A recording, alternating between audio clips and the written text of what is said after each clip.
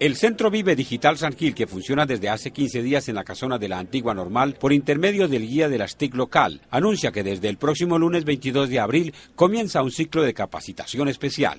Ahorita eh, los invito muy cordialmente a la parte de los cursos. Tenemos un curso que inicia la próxima semana de manejo de herramientas de ofimática, manejo de Word, Excel y PowerPoint.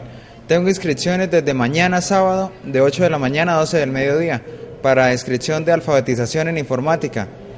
Eh, el horario del curso va a ser de 8 de la mañana a 12 del mediodía o de 3 de la tarde a 7 de la noche, de lunes a viernes. Sobre los cursos de capacitación hizo esta precisión en materia de cupos. Tengo espacio para 16 personas, sin embargo pues inscribo 20, 25 personas porque uno sabe que no asisten siempre todas. Aclara que los cursos de formación en informática no tienen costo alguno para nadie. Les recuerdo, los cursos son totalmente gratuitos y certificados por ETV y el Ministerio de las TICs.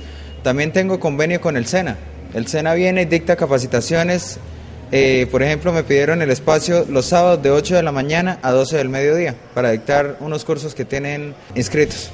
El responsable del punto Vive Digital en su balance de la afluencia de público e interesados comenta que sí hay, en forma masiva. Actualmente tengo más lleno la parte de los cursos, sin embargo, acceso a internet, entretenimiento, la gente ha aprovechado el servicio, viene, se acerca, hace tareas, realiza consultas, de gobierno en línea también.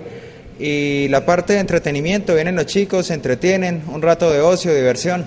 A partir del día lunes 22 de abril, el horario de atención al público visitante del punto Vive Digital se hará de 8 de la mañana a 12 y 30 del día y de 3 de la tarde a 7 de la noche. El sábado, de 8 de la mañana a 1 de la tarde, informó el guía de las TIC en la casona.